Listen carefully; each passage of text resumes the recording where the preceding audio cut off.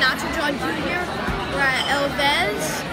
We came back since I wasn't there last time, and I've got the make your own tacos right here, and I think it, they're really good. So, I mean, great. What's on them? I have chicken, pico de gallo, guacamole, this chili sauce, green onions, and roasted peppers. I think that's it. Is that your margarita? Luckily not. What's that, little Miss Nachojawn? Okay. All right, let's see a bite.